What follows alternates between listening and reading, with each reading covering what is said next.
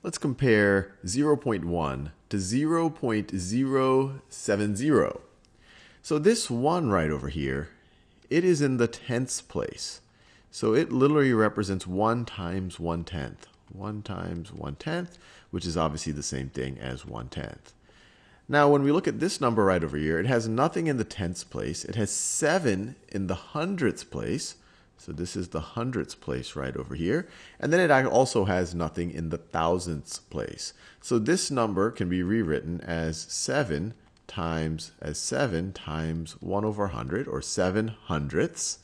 7 hundredths.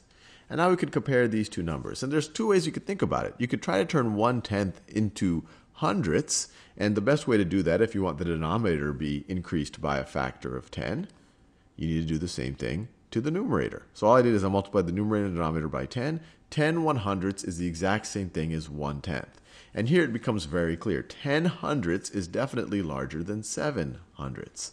Another way you could think about this is look, if you were to increment by hundredths here, you would go to 700, or you'd start at 7 hundredths, 8 hundredths, 9 hundredths, and then you'd get to 10 hundredths. So then you would get to that number. So this number, multiple ways you could think about it, is definitely larger. So let me write this down. This is definitely larger. Greater than. This is greater than that. I, I, the greater than symbol opens to the larger value. So here we have 0.093, and here we have 0.01. So let's just think about this a little bit. So this 9, get a new color here. This 9 is not in the tenths, the hundredths, it's in the thousandths place. It's in the thousandths place. And this 3 this 3 is in the, I'm running out of colors again.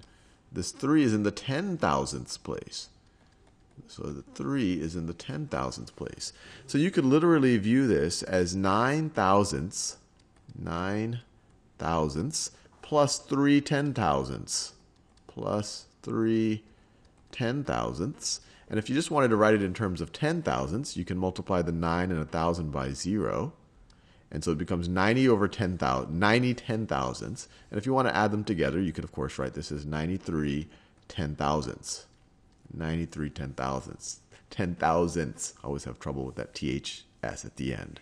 Now let's think about this number right over here 0.01. Well, this one right over here is in the hundredths place. It's in the hundredths place. So it literally represents one hundredth. So how can we compare one hundredth to 93 ten thousandths. So the best way to think about it is, well, what's one hundredth in terms of ten thousandths? Well, let's just multiply both the numerator and the denominator here by 10 twice, or you could say let's multiply them both by 100. So if you multiply by 10 once, you get to 10 thousandths. It's the same thing as 1 hundredth. Multiply by 10 again, you get 100 ten thousandths is the same thing as 100th. And we know that 100 times 100 is 10,000. So here it becomes very clear. 100 ten thousandths or 100th is definitely larger than 93 ten thousandths. So this quantity right over here is less than this quantity there. Less than symbol, the small n, points to the smaller number, larger n to the larger number. In fact, that's true of the less than and greater than. So let's see, this one right over here, 0.6 versus 0.06. So here I have a 6 in the tenths place, so it literally represents 6 tenths. And here, and in the second number, I have a 6 in the hundredths place. Well, the hundred, 6 hundredths is definitely smaller than 6 tenths. A hundredth is a tenth of a tenth. So this, this one is pretty straightforward. This is going to be the larger value. 0.6 is greater than 0.06. Now let's think about 0.3 versus 0.06. So this 3 literally represents 3 tenths. 3 tenths. While this 6 right over here, while this 6 right over here represents 6 hundredths. 6 hundredths.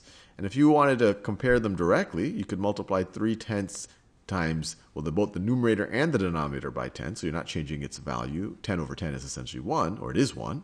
So this becomes 30 over 300. 3 tenths is the same thing as 30 over 100, and 30 over 100 is a lot larger than 6 over 100. So this is greater than.